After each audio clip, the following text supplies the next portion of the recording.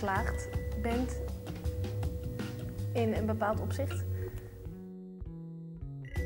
Ja, ik denk toch wel dat je.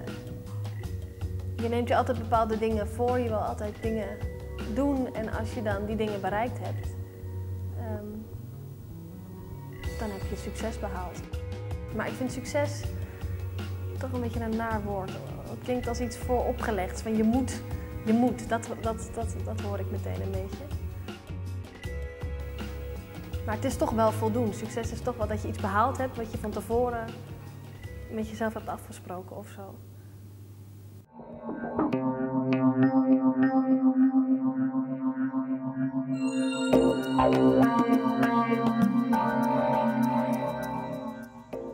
Tegenwoordig is succesvol zijn steeds belangrijker en beginnen we steeds vroeger met cv's, visitekaartjes en personal branding. Voor mij is het ook een belangrijk thema. Ik ben 22, werk als programmamaakster, presentatrice, journaliste, commercieel gastvrouw en nog steeds heb ik het gevoel dat ik niet genoeg doe. Daarom wil ik graag weten hoe dat bij andere jongeren zit. Ehm, waarom ik succesvol zijn belangrijk vind.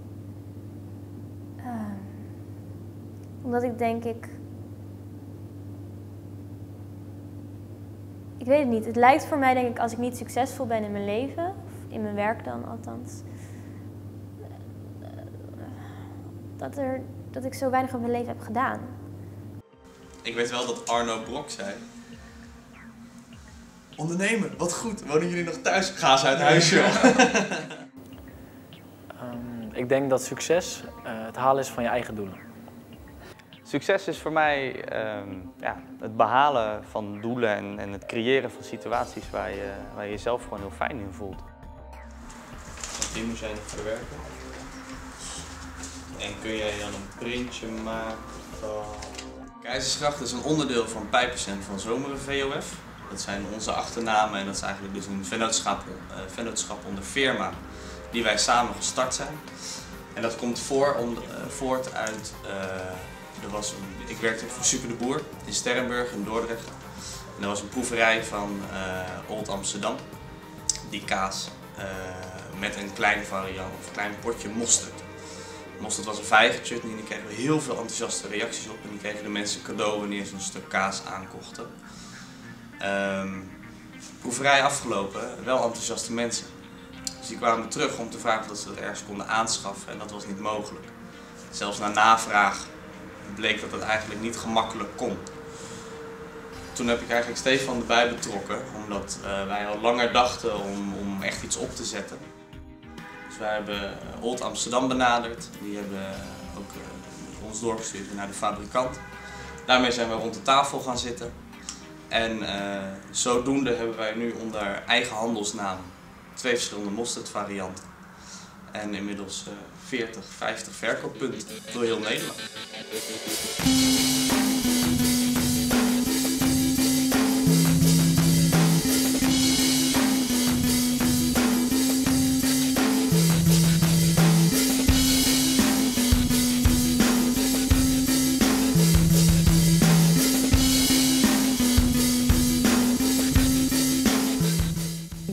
Twee, tweeënhalf jaar geleden eh, ben ik met wat foto's naar Amsterdam gegaan.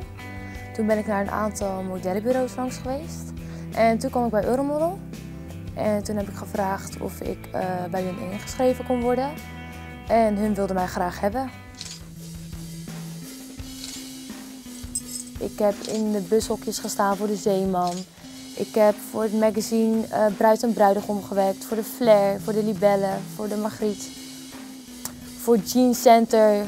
Ook klussen in het buitenland. In Düsseldorf heb ik echt voor magazines voor daar, zeg maar. Voor catalogus heb ik dan echt gewerkt. Dat is ook echt heel erg leuk om te doen. Ehm, en verder. Ik ben begonnen met wielrennen toen ik al acht jaar, toen ik acht jaar was. Dus dat is al heel lang geleden. En dat kwam eigenlijk omdat eh, mijn vader die fietste ook. En toen ging ik met hem de avondfietsvierdaagse doen. Maar ik had geen zin om zo rustig te fietsen, dus ik ging iedereen inhalen. Toen zei hij van, eh, ga jij maar op een wielrenclub en eh, gewoon een wedstrijd rijden. Dat is meer wat voor jou. Wat ik het belangrijkst vind eigenlijk is dat ik gewoon ehm, gelukkig kan zijn met wat ik doe. En dat ik de dingen doe die ik, die ik het leukst vind. En of ik daar nou echt succes mee... Ja, dat is ook succesvol, denk ik. Als je gewoon trots kan zijn op wat je doet. Mag ik?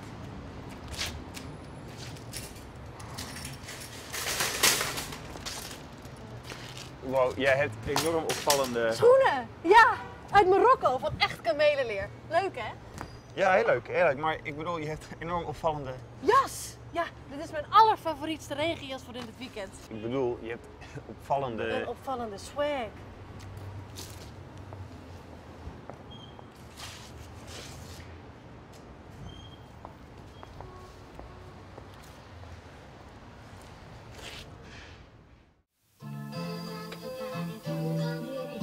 Ik ben begonnen op eh, kermis, op een kermis. Mijn vader had daar een optreden. En eh, opeens, eh, hij zat op het podium, hij zat te rappen daarop. Daarna zei hij opeens tegen mij, wil je iets gooien? Gooi verse, gooi verse. Ik zei nee, nee, nee. Daarna ben ik toch gegaan. En sindsdien wou ik rappen, zeg maar. Wou ik echt rappen.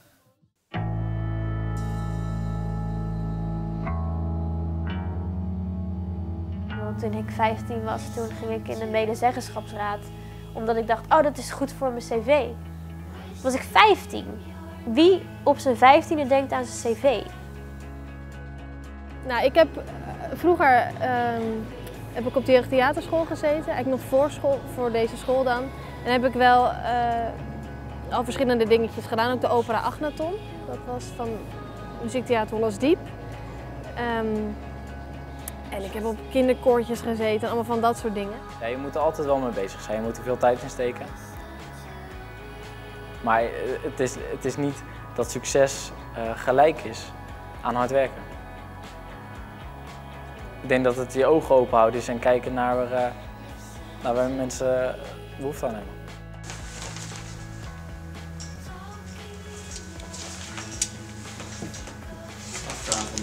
Manager van een accountskantoor die, die zei ooit eens tegen me van, eh, ja Steve, kan jij mijn auto naar de, naar de garage toe brengen?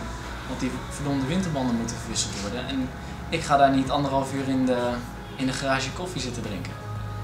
Nou, ik, eh, ik naar de garage toe, ik merkte een beetje hoe dat allemaal in zijn werk ging. En dat, dat duurt best wel lang nog voordat, eh, voordat het allemaal gedaan is. Toen zijn we eigenlijk gaan onderzoeken, hoe kan je, hoe kan je nou zorgen dat dat op een snellere en eh, slimmere manier kan. Nou, op locatie leek ons. Maar goed, wij allebei eh, economische, Economische economische studies eh, afgerond. Dus ja, totaal geen kaas gegeten van het hele garagewerken. Goedendag, mobilethuisers. We komen sleutel ophalen, dan volg ik ze in. Nee. Als we een klein 20 minuutjes te kijken. Prima, tot straks. Ja. Eerst.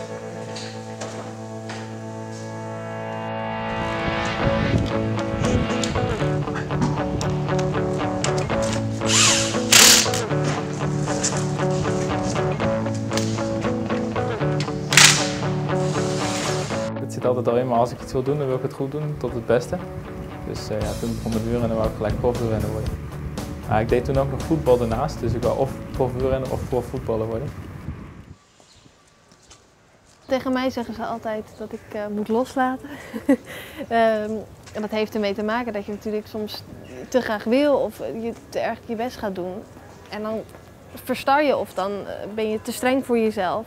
Ehm, en dan lukt het ook niet meer. Het is juist heel belangrijk dat je gewoon vrij bent. En eh, ja, het ligt aan, voor sommige dingen doe ik weer te, te weinig, vind ik dan zelf. Maar ja, ik ben gewoon heel perfectionistisch eigenlijk. Maar dat is iets wat ik heel erg heb, is dat ik heel erg bang ben dat ik te weinig doe. Dat ik niet genoeg mijn best doe. Op elk vlak hoor. Ik bedoel, ehm, als ik één keer eh, niet naar de sportschool ga, dan denk ik ook, oh, ik doe niet mijn best genoeg en ik werk niet hard genoeg. En het is met heel veel dingen. Ik ben gewoon een perfectionist. Je moet altijd hard werken, je moet altijd je best doen, vind ik. Je moet niet met eh, van, ook zie het wel. Dan vind ik ook niet dat je het verdient. Als ik eh, na een lange dag monteren of opnemen thuis kom, ga ik eigenlijk gelijk weer verder met werken. Ik schrijf een artikel, maak afspraken of ik schrijf programmaconcepten. Ik ben er eigenlijk in mijn hoofd altijd mee bezig. Het speelt altijd eigenlijk. Het speelt altijd, ja. Je gaat blijft, ook weer slapen. Ja. En soms dan word je s'nachts wakker en dan, dan denk je, dat moeten we doen. Ja, jij hebt zelfs een, een notitieboek. Ik heb een notitieboekje, ja. Maar dat is gewoon al een paar keer dat je, dat je, dat je, dat je over iets droomt. En dat je, uh, dat je wakker wordt. En soms dan denk je, dat onthoud je wel. Dat on, je onthoudt het zelden. Dus dan schrijf je het op en de volgende ochtend ben je er super blij mee. En dan bel ik hem. Uh... Sindsdien uh, heb ik mijn wekker weggegooid. Ja, ja ik, elke ochtend wakker. om, om 7 uur ochtends geweld met een nieuw idee. Succes is voor mij belangrijk omdat je uh, op die manier je leven continu voldoening kunt geven. En ik denk als er op een gegeven moment geen succes meer te behalen is, of als je geen, geen, ja, het gevoel hebt dat je in geen enkele mate succes hebt, dan denk ik wel dat dat een erg negatieve invloed kan hebben op jouw leven. Dus succes is in die zin zeker belangrijk voor mij. Omdat ik graag mijn leven ja, onderscheidend wil hebben. Omdat ik graag mijn leven interessant en boeiend wil hebben.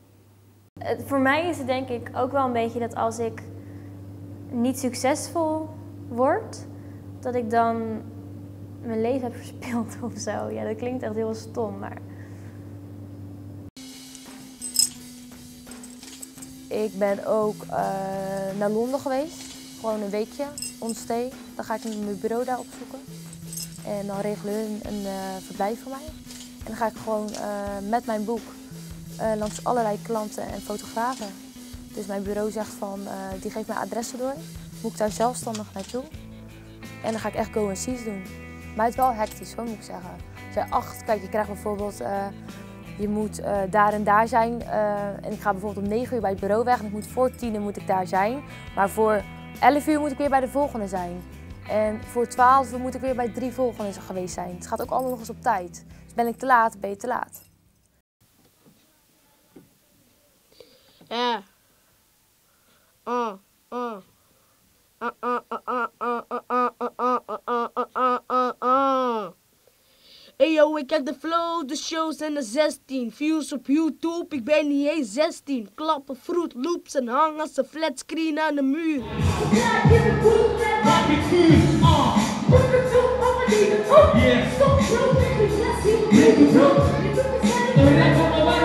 Uh,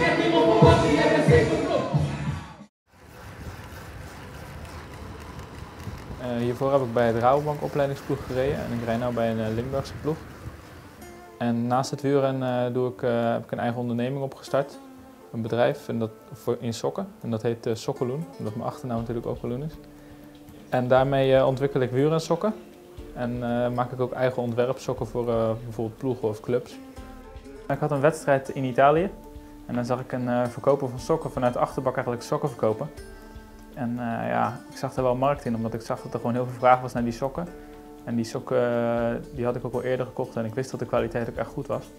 Dus toen uh, ben ik naar die verkoper gegaan en heb ik gewoon bijna zijn hele achterbak leeg gekocht. Toen heb ik in Nederland een, een webwinkel opgezet om dat hier in Nederland te gaan verkopen. Tijdens school heb ik, kan ik niet zoveel echt in de praktijk al doen. dat houdt school een beetje af. Maar ik heb Meisjes van Thijs gedaan. Dat is een internetserie. En um, in het klokhuis een klein rolletje. Dat is eigenlijk wat ik voor, voor tv heb gedaan. Kijk, hier komt de dag. Daar komen de muren. De liefde is mooi. Maar je moet er wel aan timmeren en schuren. Dit is dus het product waarmee we ja, eigenlijk zijn begonnen. De, de, de formaatjes die de klanten meekregen tijdens de proeverij van Old Amsterdam. Dat waren 40 gram, dus dat waren hele kleine, kleine potjes, twee, drie keer gebruiken en was dat, uh, was dat alweer op. Uh, dat was dus voor ons eigenlijk ook niet echt een doen. Uh, wij hebben dus gekozen voor de 90 grams variant. En waar wij zelf heel trots op zijn is gewoon dat je dus je achternaam op een etiket staat. Hey Nico! Is het? Hartstikke goed. Goedemorgen.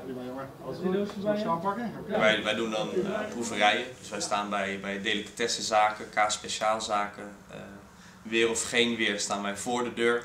Met een mooie, mooie tafel of dergelijke. Volgebouwd Meestal geen weer. meestal geen weer. Volgebouwd met, uh, met potjes en kaasjes en vleeswaren om mensen te laten proeven. Want als mensen het eenmaal proeven, dan, ja, denk toch wel dat, dat, dat 70 tot 80 procent het ook wel meeneemt. Omdat ze sowieso geïnteresseerd zijn in ons verhaal en het gewoon heel, uh, het heel een aangename smaak vinden. Succes wordt met veel dingen geassocieerd. En dat kan voor de een iets heel positiefs zijn, maar voor de ander ook juist iets heel erg negatiefs.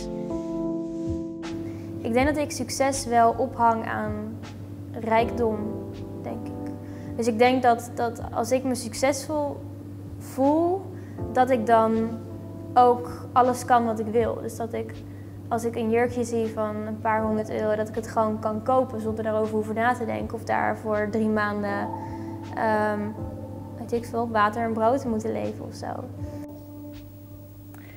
Ja, ik associeer toch ook meteen met, met het oordeel van anderen. Dus um, ja, een soort van gewaardeerd worden. Ik denk dat dat ook wel heel erg meespeelt. Dat, dat het niet alleen voor jezelf uh, geldt, maar dat, ook, dat het ook belangrijk is wat anderen daarvan vinden. En dat ik zou willen dat ik kon zeggen, nee, dat maakt me allemaal niks uit. Maar ik denk dat dat ook wel meespeelt.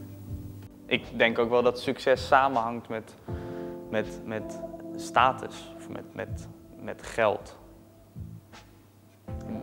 Ik vind dat wel woorden die, die, die, die je vaker in één zin kunt gebruiken. Nou, ik denk wel dat, dat succes is uh, niet alleen belangrijk voor jezelf, maar ook om te laten zien aan andere mensen um, hoe je het doet. En het is, het is wel belangrijk om te laten zien dat je het goed doet. Je moet, mensen moeten weten dat je er bent. En daardoor moet je af en toe iets te hoog van de toren afblazen eh, en uh, het iets aandikken. Om maar te zorgen dat, dat je mensen kent of dat iemand je die opdracht gunt. Het is, het is heel belangrijk dat mensen van af weten. Het is ook echt zien en gezien worden.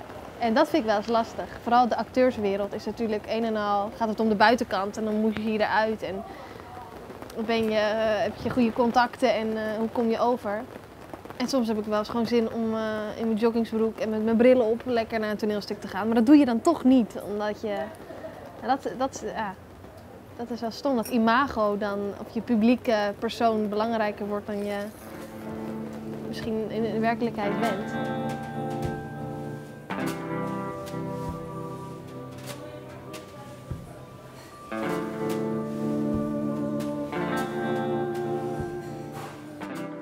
lijkt wel alsof tegenwoordig iedereen overal goed in is. En alsof iedereen altijd een geweldig leven heeft. En... Tenminste, door social media komt dat natuurlijk. Als je iemand op straat ziet lopen, dan denk je niet, wow, die heeft echt een geweldig leven. Nee. Maar als je foto's op Facebook ziet of posts of zo, dan word je toch denk ik al soms al beïnvloed. Dat je denkt, oh nee, die doet dat al, die doet dat al. En dan denk je, ja, ik zit nu gewoon thuis op de bank tv te kijken of zo. Het wordt je ook wel opgelegd inderdaad, dat je ergens goed in moet zijn. En iedereen wil bijzonder zijn en ergens goed in zijn. En nou, dat voel ik ook wel heel erg. Ik denk uh, nu inderdaad, dat zo, ja, met social media, social media, dat ja, mensen eigenlijk continu naar buiten willen brengen dat ze een fantastisch leven hebben. Dus dat je, je krijgt altijd de, de, de mooie foto's, de bijzondere ervaringen van, uh, van mensen. Voorbeeld zijn met deze flows die ik ooit doe,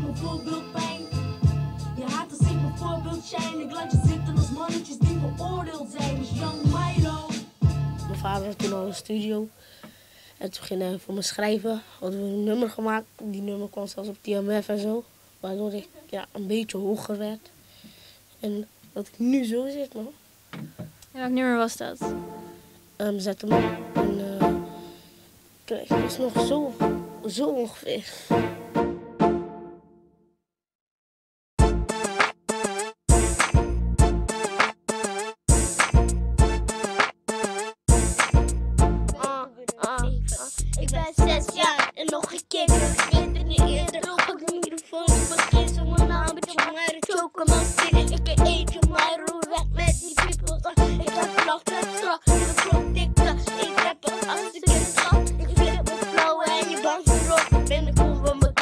Spice. Jetix.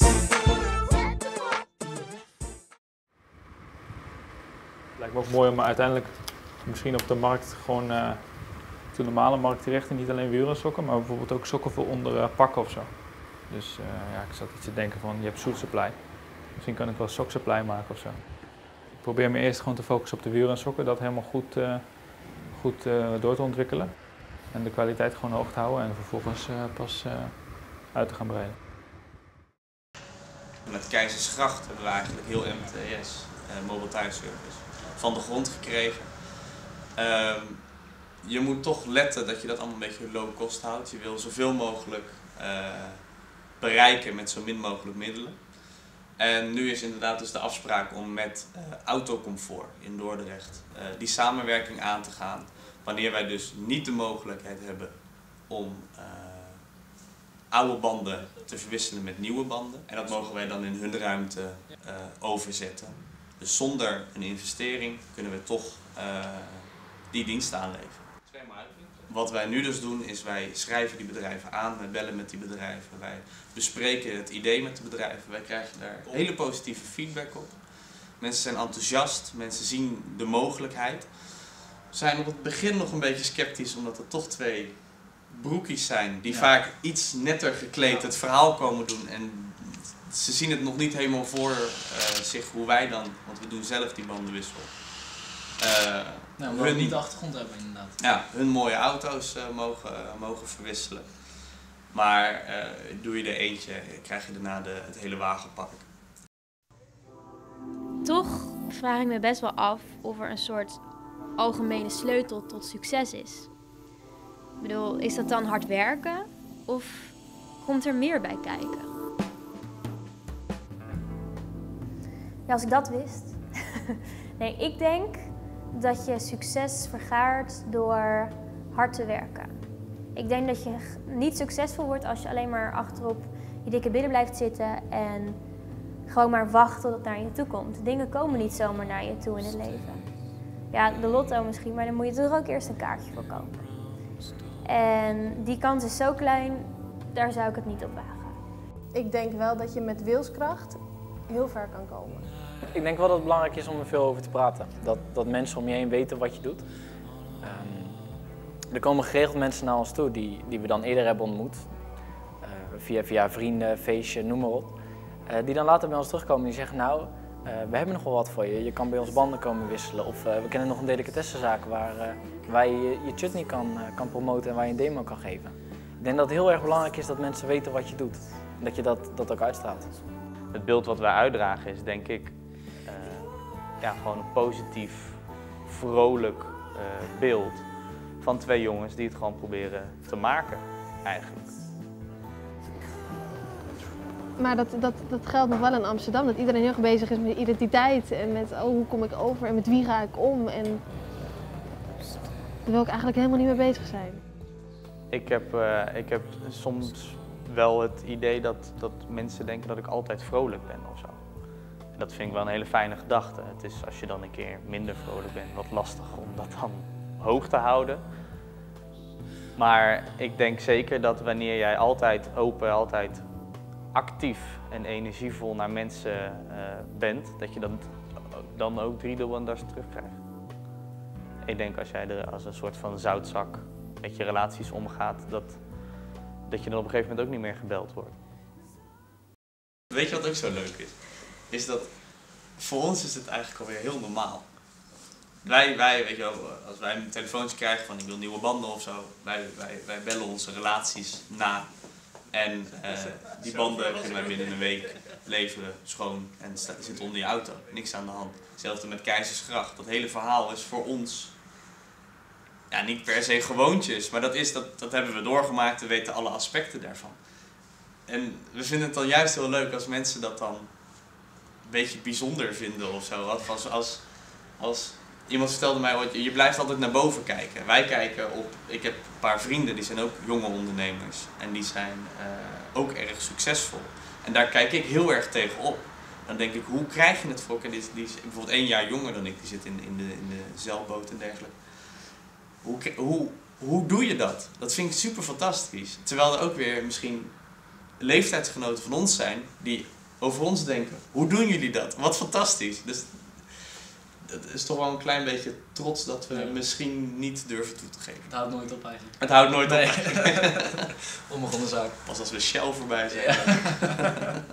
Ik wil niet een, een baan gaan eh, doen waarbij ik voor het weekend leef of voor de avonden. eh, Dat ik werk om s'avonds naar een televisie te kunnen kijken. Ik wil liever dat ik gewoon van 9 tot 5 het ook naar mijn zin heb. Is goed, heb je voor mij. Eh, echt die topmerken, weet je, Armani, noem maar op, dat soort dingen. Ja, daar wil je altijd wel voor staan natuurlijk. Altijd wel voor het model voor staan.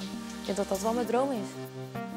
Ik wil op de nationale televisie eh, programma's maken en presenteren. Dat ik eh, Amsterdam Zuid boodschap ga doen, dat dan eh achtervolgd wordt. Flora, Flora, Flora, mag een foto van je maken? Mijn grote droom is om profuurrenner te worden. Dat staat gewoon op nummer 1.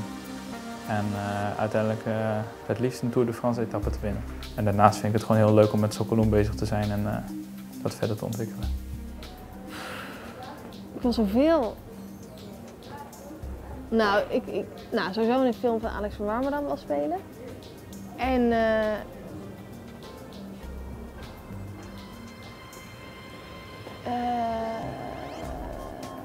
en, bij Villa Achterwerk een eigen programma.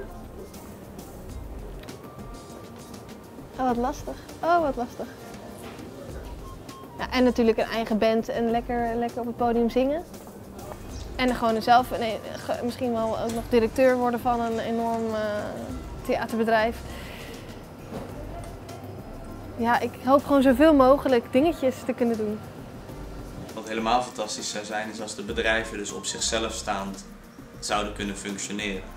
Waarom Los dus- van ons. Ja, maar hoe fantastisch is het dat wanneer je bijvoorbeeld die twee eh leasemaatschappijen hebt, wanneer je wat personeel hebt die je de busjes toevertrouwt, wanneer dat allemaal op zichzelf gaat en wij weer van niks iets kunnen opstarten.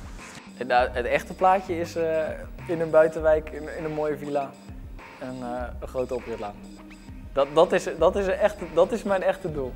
En een, eh, ja, dat is, een- een beetje raar om te zeggen, maar een meer in de tuin. Een vijver is leuk, maar ik zou, zou graag een bootje in mijn eigen tuin willen hebben. Ja, er zit ook wel onzekerheid achter het streven naar succes, denk ik. Ik zou niet dood willen gaan zonder. eh, ik weet het niet. Iets bijzonders te hebben gedaan of zo? Ik wil gewoon, ja, het klinkt stom, maar ik wil, je wil gewoon niet vergeten worden. Ik wil gewoon later, ik wil niet doodgaan eh, zonder dat mensen weten wie ik ben, omdat ik niks betekend heb. Ik wil natuurlijk, het liefst zou ik de wereld veranderen of de wereld verbeteren, maar dat... eh,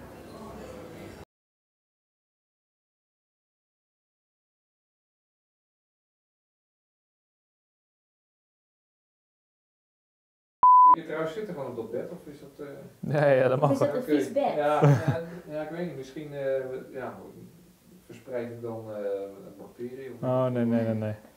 Zo, dat je hier bent